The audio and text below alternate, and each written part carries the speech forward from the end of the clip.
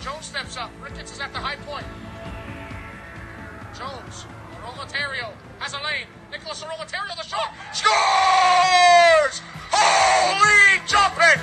The Italian stallion puts the puck in the back of the net. Mamma mia, Nicholas Rolatario! So the keep it in does. Callum Jones for Potts. At the blue line, kept in by the skate of Thomas Maya. Maya. Down low on the half course, he swings out in the slot for Potts. Kyle Potts has it, hangs on.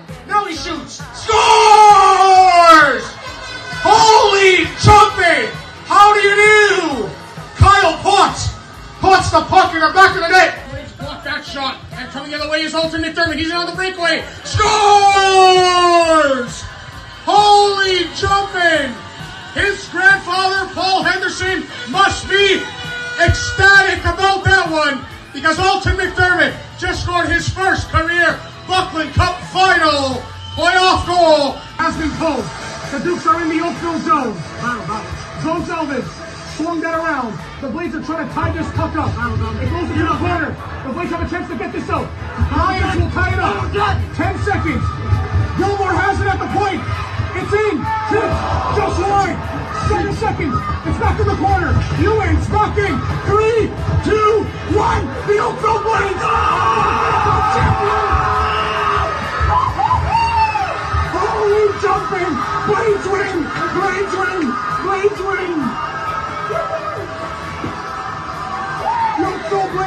Blades are Buckland Cup champions. You're watching Mamma Mia! This is Fire Talk with Nicholas Fiore. Welcome back, everybody, to episode number 15 of Mamma Mia! This is Fire Talk. I am joined by newly signed with the Toronto Marlies in the AHL, Riley McCourt. Riley, thanks for joining, man. We appreciate it. I appreciate it. Yeah, no, for sure. Thanks for having me on. I'm excited. So we just spoke a little bit before we came on, and I said, well, a little bit of a professional setup here for, for, for a professional ice hockey player. You haven't said that too much, have you? No, no, it sounds crazy when you say it. I think it's something as a kid you dream of, and um, just to hear it, you know, come out of your mouth is it's kind of surreal. So it's, it's a neat feeling for sure. Obviously, you've played um, you've played some junior and you've played some OHL. We're going to get to that. But where were you when when you found out you were going to get signed by the Marlies, and how excited were you? Yeah, I was actually just hanging out of my house, and um, I got kind of you know an unexpected call from my agent, and um, I didn't know kind of what it was about or, or what um, you know the deal was, but um, I picked up and I kind of went downstairs and um, you know talked to him alone for a little bit, and um, you know he said. Uh, you know, they want to offer me a contract, and he thought it was a great opportunity for me. And you know, I was just over the moon. I couldn't, I, I couldn't put into words how excited I was, and you know, to be so close to home, and um, you know, such an organization, uh, you know, great organiza- organization like um, the Marlies have. It's uh, it's special and something that I'm definitely excited to to continue. And obviously, it is exciting because you get to stay home too, and and maybe the parents are going to come to the games, and and it's just it's an easy access to. How important is it for, to have that support system as well? Yeah, it's huge. I think. Uh, I mean, at the start of my OHL career, um, being in Hamilton, I was close to home, and then obviously moving away to to Flint, I wasn't as close, and it was a little harder for um, you know friends and family to to get to my games and stuff like that. But now being in such a um, you know kind of a location like Toronto, where um, you know I have family down in Brockville, Ontario, so it's not too far away, and then uh, my hometown, St. Catharines, Ontario, it's right there. So um, it's going to be neat kind of having, um, you know, my family uh, at pretty much every game. And, um, you know, if I want to go home and um, spend some time with them, I'll, I'll, be able to drive home and spend some time with them. So uh, I, I couldn't work out any better. And as a 2000, you know, 20 years old, you've done some stints, of course, in the OJHL and, and in junior hockey, but how humble are you to have this opportunity at such a young age as well? yeah, it's it's so humbling, and and I'm just so thankful that um, you know they showed showed enough, um, you know, um, just uh, just kind of effort, yeah, just faith. Yeah, faith in me, and um, to, you know, to kind of offer me this this contract, and um, you know, the trust in me they showed that um, you know they think I can play at the next level, and um, you know, my job is to prove them right and show them that uh, you know they made the right decision, and um, just kind of help the organization continue to uh, you know win championships and win hockey games. Obviously, to get to this point, you had to play a lot of hockey, and you started with uh, Ridley College, um, but with two years there, and then you moved on to the GOJHL. Sometimes you see guys jump from the like the colleges or like all that little minor hockey, youth hockey to junior A in the OJHL. But you went to the GOJHL, you stayed at home, St. Catharines, and then obviously you made the jump to the OHL with the Hamilton Bulldogs. How was that uh, decision and experience to say, let's do junior B? And then obviously, how did the OHL uh, approach you? Yeah, so I think uh, you know my dad. He was a coach in the OHL, and um, I kind of grew up around around the league and around junior hockey. So at a young age, it was kind of something I had set in my mind um, in what I wanted to do. And um, obviously, getting drafted to Hamilton, it was it was a great spot. It was close to home, and um, you know, it's just an opportunity that I couldn't really pass up. So when I was offered, um, you know, the card to sign as a 16 year old, I was I was thrilled, and um, you know, it was something that uh, I couldn't pass up for sure. So I just I jumped at the opportunity and um, you know just kind of ran with it from there. Four years in the OHL overall. You played with Hamilton uh, only 35 games. 10 points. Remember, you are a defenseman, right? So points are a little bit harder to come by than a uh, a forward like a Steven Stamkos and so on and so forth. You know what I mean? But you you got you got your you, you got your time, and you got your time when you moved to Flint. When you moved to Flint, uh, the Firebirds there from 2017 to 2020, 140 games played, 107 points um, regular season, of course, with Flint. How did Flint help you kind of get to the point where you are now, but also explain uh, how your time was in Flint? Yeah, I definitely wouldn't be um, where I am today without Flint and uh, you know the coaching staff there and, and, just the organization there and the trainers and um, you know top to bottom from everyone in the organization, my teammates.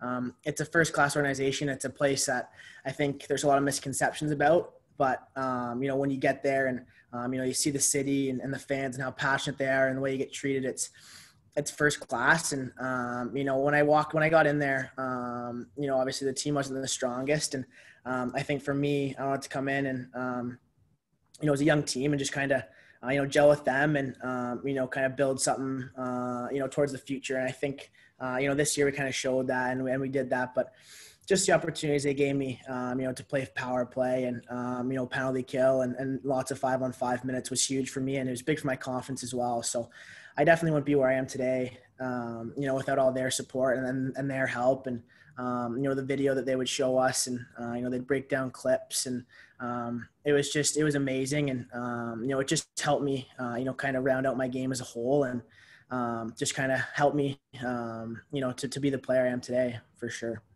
117 points in 175 games um, as an OHLer. Uh, that's pretty damn good, if I don't say so myself, on the blue line.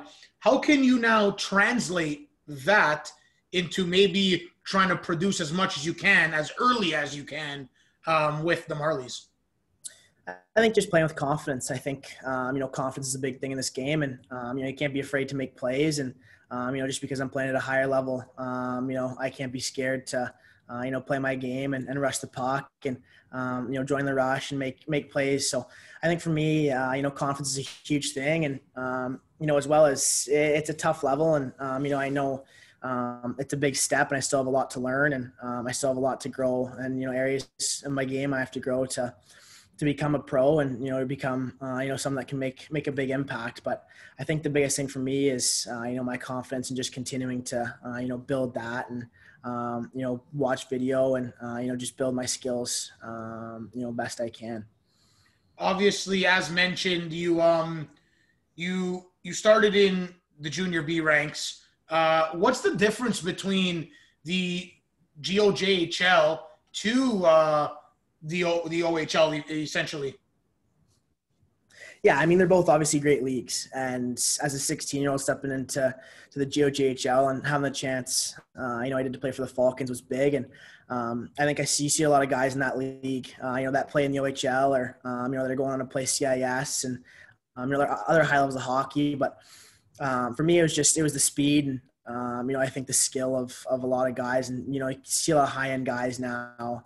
Um, you know coming out of the OHL and first round picks and um, you know guys stepping right into the NHL after getting drafted. So I think the OHL, um, you know, it's just a very, a high paced league, and uh, you know, there's a lot of skill skill coming out of it for sure. But um, I think my first year as a 16 year old playing for the Falcons, it definitely gave me, you know, kind of a little edge and kind of a, a little bit of uh, you know understanding and um, you know something to to know what to expect when I when I made that jump as a 17 year old.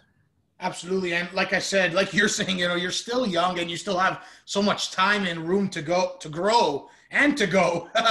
but you, you've also been to two NHL camps and you've gotten some experience as well. Um, you went to the Dallas camp in 2018, the Boston camp in 2019. Um, if you want to touch upon both or just the overall experience um, and what you learned from those NHL camps. Yeah, they were big. I think for me, um, as an 18 year old, um, the Dallas camp, I think going into that draft, um, you know, you expect to be drafted, uh, you know, no matter what. And, um, you know, it's kind of a goal you have in place and something you want to accomplish. So after I didn't get drafted, obviously it was a little disappointing, but um, I got a call probably two minutes after the draft saying um, to pack my stuff. And I was, I was headed to Dallas. So, um, I knew it was going to be a great opportunity for me to just learn and um, you know kind of see what the pro lifestyle was about and um, you know, hear some some higher end, uh, you know, hockey people talk and see what they had to say, and um, you know, kind of get a different perspective on the game, which was which was huge for me. And then um, in Boston last year, it was it was a great experience. I mean, I was playing with guys who, um, you know, played for Boston in the playoffs, and you know, we're up with them for for the majority of the season. So, you know, playing with that in that rookie tournament was was great as well as the competition. I said, you know, I've there's several guys who who were NHL mainstays this year, and um, you know guys who play in playoffs, and um, you know guys who play on a consistent basis that I was playing against. So I think just kind of get to see um, you know how they handle themselves off the ice and on the ice. Um, you know, was something that I I kind of just try to soak in and um, you know take back to me with ju- er, with me in junior. Um, and kind of be like be like they were, and um, you know, just kind of watch their habits um, was my biggest takeaway. And how hard you have to work to, to be a pro hockey player. So uh, those two camps were definitely big for me. And, um, you know, they were a huge, huge reason, reason in, um, you know, my development and kind of showing me, showing me how hard I have to work. And another, another huge reason in anyone's development would be the, uh, the determination, you know, the hard work and the work ethic. And you've had to have that over the years um, with overcoming injuries. You've overcame a few injuries and – obviously you need to overcome those if you want to get to the spot that you are now and even further on in the in your career. Um, touch upon how you know you have to have the right mindset to overcome these injuries to then eventually get opportunities like this one.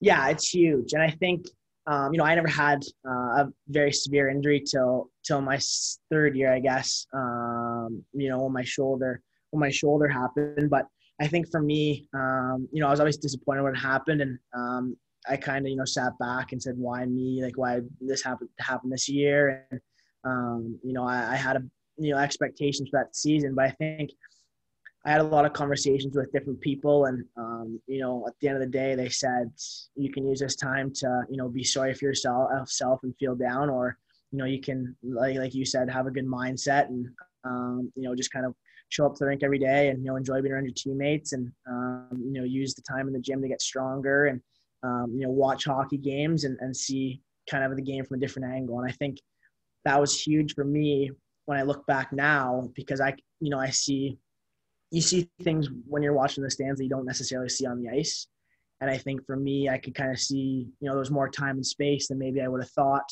and you know more room to make plays or you know, if a guy made this play, I could kind of see, oh, if that was if I was in that position, I can make this play instead, or just little things like that that you know were big for me. And um, you know, it was obviously good being around my teammates and stuff like that, and um, you know, all my buddies, uh, you know, made it a lot easier for me, which was great. But I think if something like that happens, um, you know, just having having a positive mindset and um, you know that everything's going to work out and um, you know everything kind of happens for a reason i guess you could say so that's kind of what I did and just try to take everything in stride. And um, I, it worked out.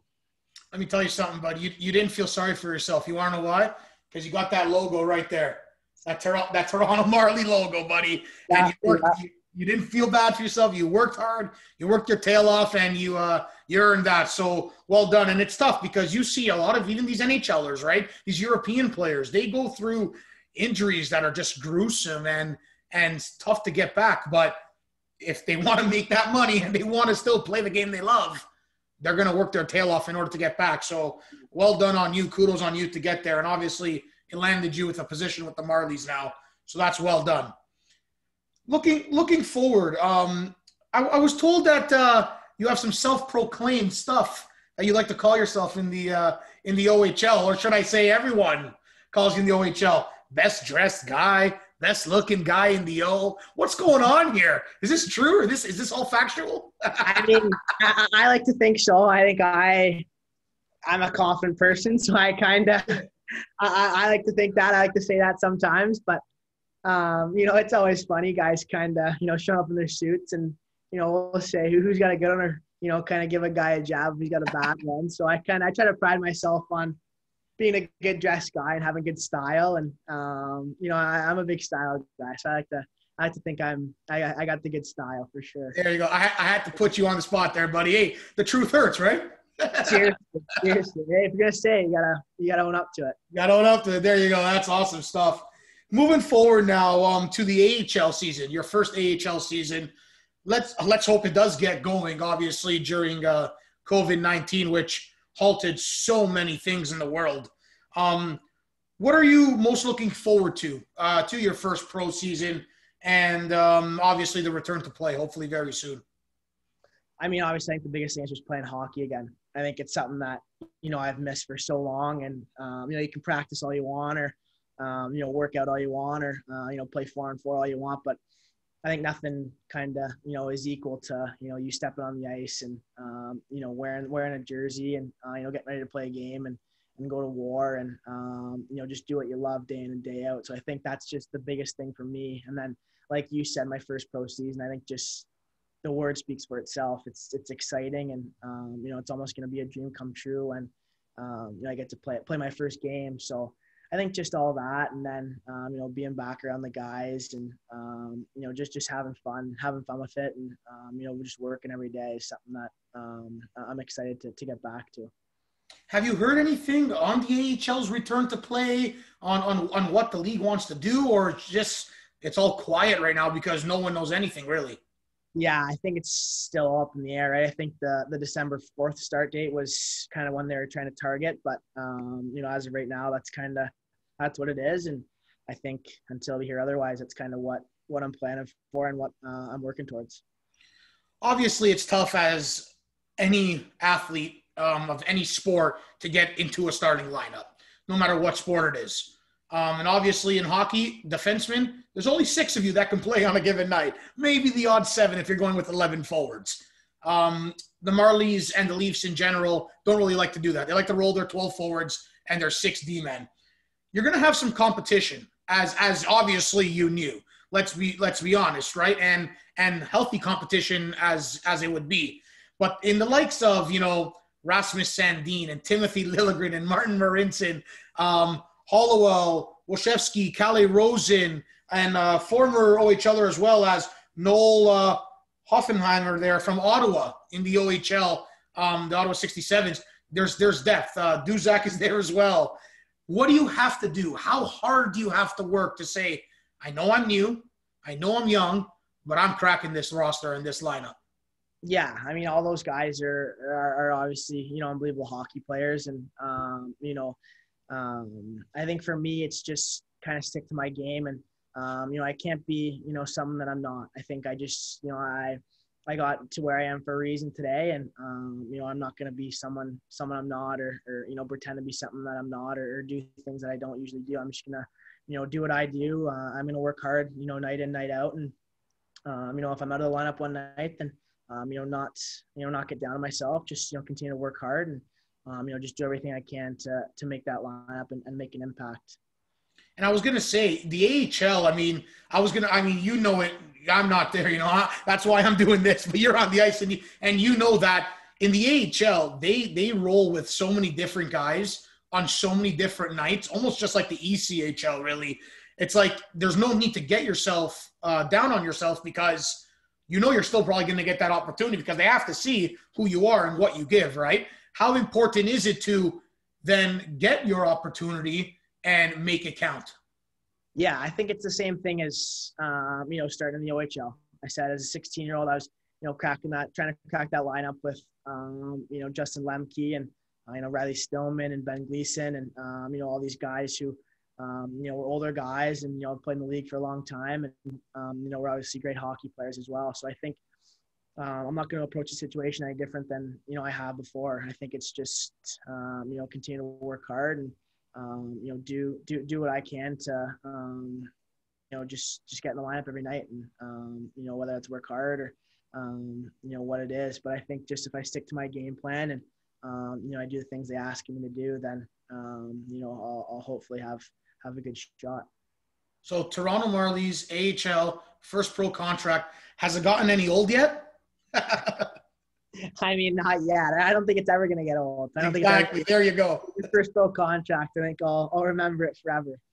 That's awesome, man. And and and obviously you should remember it forever. And it's a big step and a new journey. Um, and I wish you the best of luck within that journey. I appreciate you coming on here.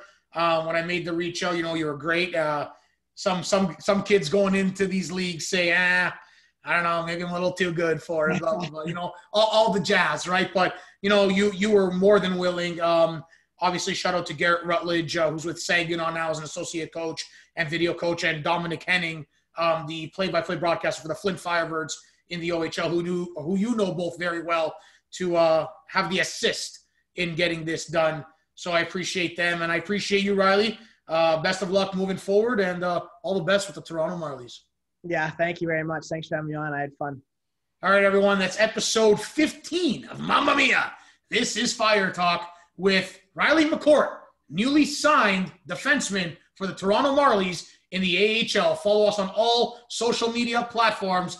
This episode has been a great one, and there's going to be a lot more to come as well as Instagram Lives. I'm Nicholas Fiore for the Oakville Blades in the OJHL. That's Riley McCourt for the Toronto Marlies in the AHL. Thanks for tuning in, and we'll see you next time. Mamma mia.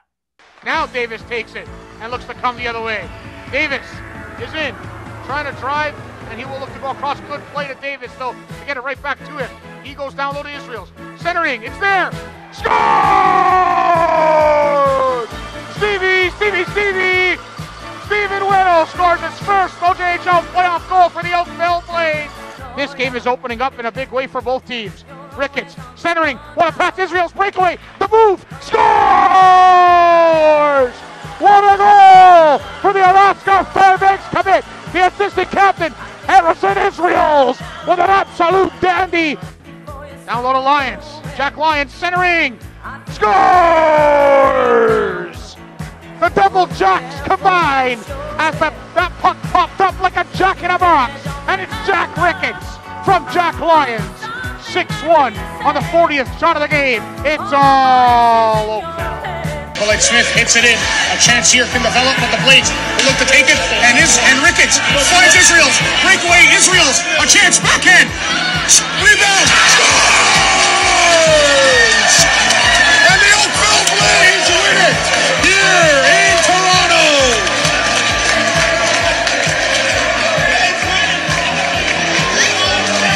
Blades win, Blades win, Blades win. That was Mamma Mia. This is Fire Talk with Nicholas Fiore. Thank you for watching and stay tuned for the next episode.